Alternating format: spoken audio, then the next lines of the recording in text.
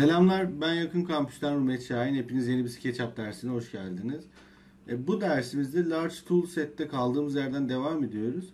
E, artık kamera araçlarına giriyoruz. Kamera araçlarında ilk bahsedeceğimiz araç pozisyon kamera. Bu pozisyon kameranın üzerine tıkladım. Bu araç aslında güzel bir araç. Özellikle büyük projelerde insan gözünden nasıl gözüküyor çok merak ediyoruz bazen. Yani biz evet büyük ölçekte ya da üst görünüşlerde ya da geniş perspektiflerden bakıyoruz ama bir insan yaklaştığında bu yapıyı ya da bu modeli ya da bu işi nasıl görecek? Bunu merak ettiğimiz noktada insan gözünden bakmamıza olanak sağlıyor. Bakın örneğin ben geldim. Burada tıkladığım noktada hemen e, sağ altta göz yüksekliği diye bir seviye var. 1.67 küsür boyundaki bir göz nasıl görür diye e, bana bunu gösteriyor.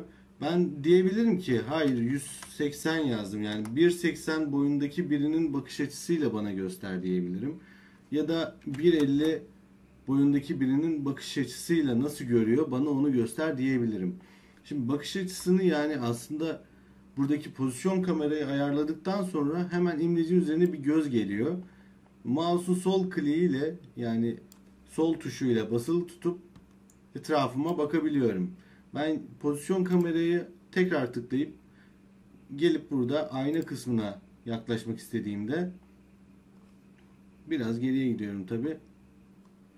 Boy kısmını da 1.50 yazıyorum. 1.51'inin bu ayna kısmında göreceği şey budur diyor. Yani bu göz sembolüyle aslında look around özelliği bu. Yani gelip look around'a illa pozisyon yani illa pozisyon kamera olmasına gerek yok. Look around özelliğiyle de etrafa bakabiliyorum. Yani ben escape'e bastım, komuttan çıktım.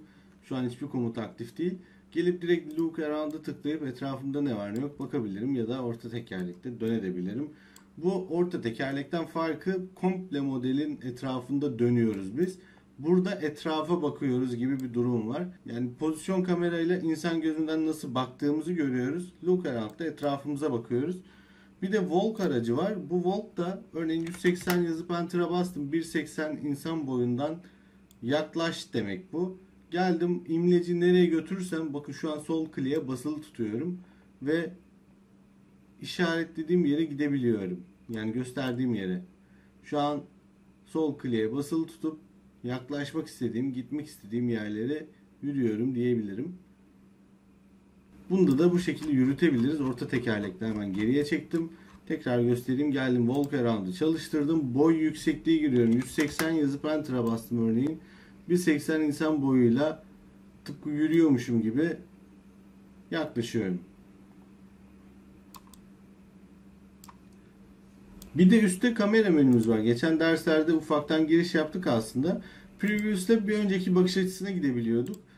Next'te sonraki bakış açısına gidebiliyoruz. Yani bir önceki bakışa git bir de sonraki bakışa git gibi çalıştırabiliyoruz bunu. Standart view'lar zaten bizim burada kullandığımız e, izometrik tap ve e, ön arka görünüş gibi. Burada olmayan ve burada olan tek bir şey var sadece alt görünüş. Alttan nasıl gözüktüğünü merak ediyorsak kamerada standart view'e gelip batımı seçebiliriz. Paralel projeksiyon bakın hemen zoom extend yapıyorum alt alta göre ortaladı. Hiçbir yerde değilsem zoom extend diyorum. En azından projemi yakalamış oldu. Geldim tekrar buraya. Paralel projeksiyon bizim teknik olarak nasıl görüyorsak yani tam karşıdan baktığımızda bildiğimiz görünüş çıkarıyormuş gibi e, bize bunu sağlıyor. O yüzden paralel projeksiyonu ben özellikle iki boyutlu çizimi aktaracağım zaman yani bir görünüş alacağım zaman ya da DVG olarak aktaracağım zaman ilerleyen derslerde buna da değineceğiz. Ee, o zamanlarda kullanıyorum açıkçası. Ee, perspektif zaten sürekli aktif olan. Bir de burada two point perspektif var. İki kaçışlı, iki noktalı perspektif. Burada da e, modeli çift kaçışa oturtuyor. Yani çift kaçış perspektif olsa nasıl olurdu onu merak edersek kamera seçeneğinde çift kaçışlı perspektife de oturtuyor. Bu fotomatch özelliği var. Bunu şimdilik geçiyorum. Orbit Pan Zoom araçlarını dediğim gibi bir önceki derslerde gördük ve az önce de bahsettiğim pozisyon kamera, walk ve look around özelliklerine de az önce değindik. Şimdi burada asıl önemli olan bir nokta var. Ee, bizim çok çok işimize yarayacak bir araç bu. Kesit alma. Yani evet biz SketchUp'ta kesit alabiliyoruz. Hatta bu kesitleri DVG'ye de aktarabiliyoruz ya da bir pafta hazırlıyorsak Photoshop'a da aktarabiliyoruz. Ama bunu nasıl yapabiliyoruz? Hemen değinelim. Geldik burada kamera menüsünde Section Plane diye bir seçenek var. Bakın Section Plane'i tıkladığımızda ilk tıkladığımız ilk tıkladığımız yer neresiyse ona göre bir renk beliriyor. Şu an mavi eksende bir düzlem görüyorum ben. Bu benim aslında kesme düzlemim. Yani nereden keseceğimi belirliyorum. Bakın bu yüzeye geldiğimde hemen kırmızıya döndü. Bu yüzeye geldiğimde yeşile döndü. Tekrar üstten kesmek istersen plan görüntüsü gibi. Yani plan dediğimiz şey de aslında bir kesittir. Belli bir noktadan kesilmiş halidir. Bu da tıpkı onun gibi e, üstten yani plan görüntüsü gibi nasıl kesebiliriz bunu ayarlayabiliyoruz. Bakın ben geldim. İlk olarak bu kırmızı eksende tıkladım. Tıkladığım anda hemen bir kesit düzlemi oluşturdu ve bir e, isim vermemi istiyor kesite. Ben de diyorum ki yan kesit. Sembolü de 1 olsun. Okey dedim. Şimdi ben bu kesiti oluşturdum. Burayı kesti ama bu kesit hiçbir şey ifade etmiyor. Yani bu kesiti ortalara bir yere getirsem belki bir anlam ifade edecek.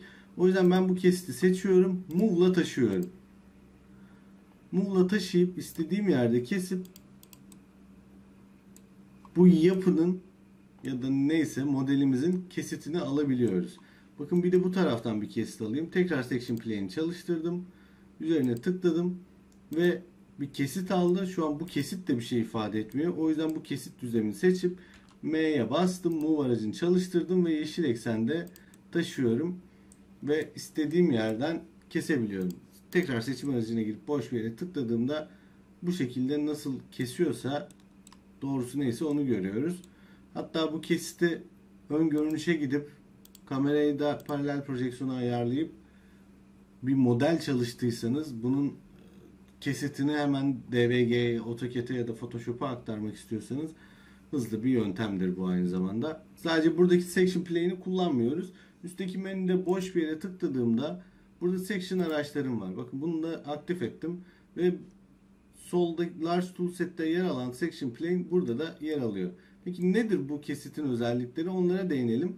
Şimdi ben bu kesit düzlemini seçip sağ tıkladığımda burada birkaç tane seçenek var. Birincisi reverse tersine çeviriyor. Yani kesit okunun bakış yönünün tersine çevirebiliyoruz. Bir de burada iki tane kesit varsa örneğin bir buradan kesit aldım bir buradan kesit aldım. Şimdi hangisi aktif? Sadece şu an bu karşıda olan aktif. E ben bunun aktif olmasını istiyorum belki. O yüzden tekrar sağ tıklıyorum bu kesit düzlemine. Burada aktif kat diye bir seçenek var. Aktif kat dersem hangi kesitin modele yansımasını istiyorsak onu gösteriyor. Bakın şu an sağdan yandan aldığım kesit aktif. Tekrar bu uzun kesiti seçiyorum. Uzun kesitte aktif kat dersem o aktif olacaktır. Tekrar bu yandan kesite gelip bunu aktif kat diyebilirim. Ya da dediğim gibi reverse diyerek tersine çevirebiliriz. Bakış yönünü değiştirebiliriz. Bu tarafa baksın diyebiliriz kesite. Bu da güzel özelliklerden biri. Şimdi tekrar kesit düzlemini seçip sağ klik dediğimde Align View ya da Align View diye bir seçenek var. Bu da hemen o kesiti hizalar. O kesit nasıl bakıyorsa ona bakmamızı sağlar. Bunlar önemli özellikler aslında. Ee, bizim de çok sık kullandığımız özellikler ve kesite dair her şeyi şu anda görmektesiniz. Tekrar gelip bu kesme düzlemini seçtim. Bir sonraki seçeneğe bakalım. Burada Create Group from Slice diye bir seçenek var.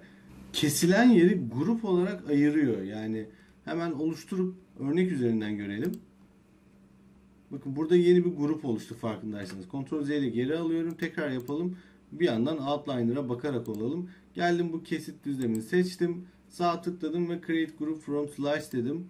Ve yeni bir grup oluştu. Nedir bu grup? Hemen diğer her şeyi gizleyelim.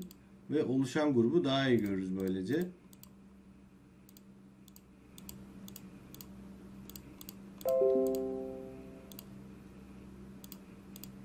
Kalan her şeyi gizledim ve sadece oluşturduğu grup kaldı. Bu da şu demek. Neyi kestiyse o kestiği şeyden, o kestiği yeri ayrı bir grup olarak kaydediyor. Ben sadece bu kesiti aktaracaksam eğer başka hiçbir şey görmek zorunda değilim. Sadece kestiği şeyleri ya da kestiği yerleri görebilirim. Yani sadece o kesit üzerinde çalışabilirim. Bu da güzel özelliklerden biridir. Hemen Outliner'daki diğer model hemen Outliner'daki modelimizin kalan kısımlarını aktif ediyorum. Üstte bizim çağırdığımız section araçları ne işe yarıyor? Section plane az önce de denediğimiz gibi o kesit düzlemi. E, display section plane de kesit düzlemlerini gizler ya da açık eder. Belki bir fotoğraf olarak aktaracağım ben bu perspektifi ve bu kesit düzlemlerini görmek istemeyebilirim. O yüzden bu kesit düzlemlerini göstersin ya da göstermesin diyebiliriz. Bakın aktif olduğunu arka planının mavi bir background'a sahip olmasından dolayı anlayabiliriz. Tıkladım üzerine arkası boş, üzerine tıkladım arkası mavi. Demek ki aktifmiş. Şu an aktif değil. Tekrar tıkladım. Onun hemen yanındaki araç ise şu işe yarıyor. Ben evet kesit düzlemlerimi belirledim. İstediğimde bu kesitleri aktif edip gösterebilirim. Modelimin kalanına da çalışmak zorunda olduğum bir durum içerisinde olabilirim. O yüzden Display Section Cut da kesit düzlemlerin aktif olup olmamasını sağlıyor. Yani evet kesit düzlemleri bura ama şu an kesmesine gerek yok. İstediğimde kessin yeter. Mantığıyla hareket ediyor. Tekrar kesiti aktif hale getiriyorum. Ondan sonraki araç ise Section Fill. Burada döşemedeki durum neyse, doluluk, boşluk neyse onu göster ya da içerisini siyahla doldur. Hangisini tercih edersek onu kullanabiliriz. Bu kesit mantığı size tanıdık gelmiştir. Belki özellikle yarışma projelerine baktıysanız içi siyah dolgulu kesit özellikle perspektif kesitleri SketchUp o anlamda yarışma projelerinin en önemli aktörlerinden biridir diyebiliriz. Bu sağladığı model kolaylıkları sayesinde. Yani ben hemen perspektif kesit alabilirim ve bu kesitin içini Photoshop olmadan doldurabilirim. Siyah boyayabilirim. Bir sonraki dersimizde gölge ve stil farklılıkları ayarlarını da göstereceğiz. Ve böylece bu modeli farklı stillerde de nasıl yansıtabiliriz, gösterebiliriz. Onlara değineceğiz. Evet toparlamak gerekirse bu derste kamera özelliklerinden bahsettik. Pozisyon kameradan bahsettik. İnsan gözünden nasıl bakabiliriz?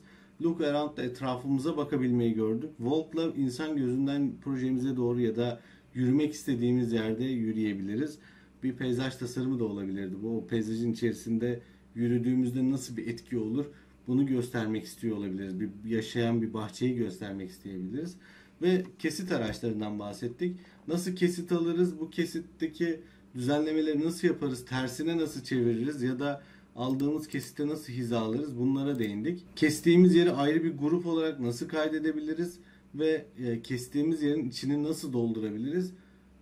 Bunlara değindik. Yani kesite dair her şeyi görmüş olduk aslında. Evet bu derste bahsedeceklerim bu kadardı. Umarım faydalı bir ders olmuştur. Beni dinlediğiniz için teşekkür ederim. Eğer videoyu faydalı bulduysanız beğendiyseniz lütfen like butonuna basın. Her türlü soru, görüş ve öneriniz için yorum bırakabilirsiniz. E, yorumları takip ediyor olacağım. Yakın Kampüs kanalına abone olmayı unutmayın. İyi çalışmalar dilerim.